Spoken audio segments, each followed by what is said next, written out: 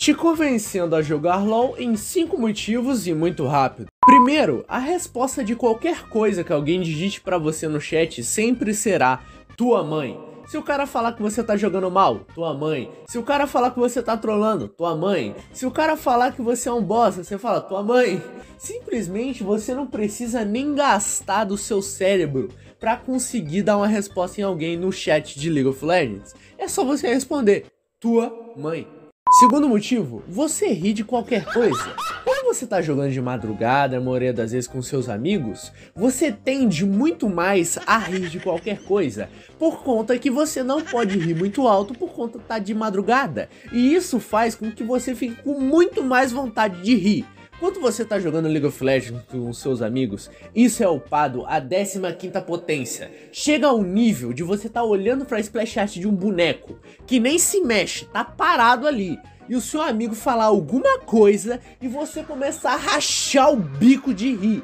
E não é rir pouco, mas é rir muito mesmo. E como tá de madrugada, você não pode rir muito alto. Só que por conta de estar de madrugada, você fica com mais vontade ainda de rir.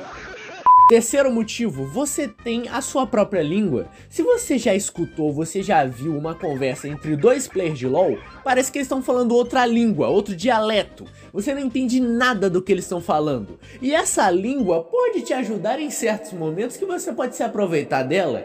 Tanto que já chegou ao nível de eu chamar uma mina de Rek'Sai e ela perguntar pra mim o porquê que eu chamei ela de Rek'Sai. Aí eu falei, não, é que é um boneco muito bonito do League of Legends. O problema é que a Rek'Sai é essa coisa aqui. Que coisa horrorosa! Quarto motivo, você ter muito mais calma no seu dia a dia, porque o League of Legends ele vai te causar uma quantidade tão grande de raiva e de desgosto que outras coisas que você faz no seu dia a dia que te causaram raiva, a raiva que isso vai te causar vai ser simplesmente nula ao nível da raiva que você vai sentir jogando League of Legends. Como por exemplo, você jogar e cair com uma Lux Jungle.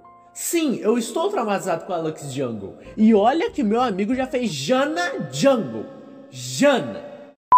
Quinto motivo, se você já tá numa certa idade, você já deve, né, ter desembicado uma pipa, afogado o ganso, botado a mangueira para trabalhar, descabelado o palhaço, né? Dar aquela tirada de leite integral caseiro. Se você bem me entende, se você jogar League of Legends, você tem material infinito. Tem material assim por uns 5 anos seguidos. Porque os cara levaram a sério aquele ditado que quem perdoa é só Deus. Porque pelo amor do próprio. Porque, meu amigo, os caras não perdoam ninguém. Os caras não perdoam ninguém. Você tá vendo essa coisa aqui? Tá vendo essa monstruosidade? Essa raia do vazio? Se você for naquele site lá na, do regra 30 mais 4, você que faz aí pra você descobrir qual que é. Se você for nesse site, você vai achar. Essa coisa aqui, você vai achar. Você vai achar do Velcos. Nossa, me deu até um flashback ruim aqui falar do Velcos. Nossa senhora. E acabou o vídeo, né? Fazer o quê?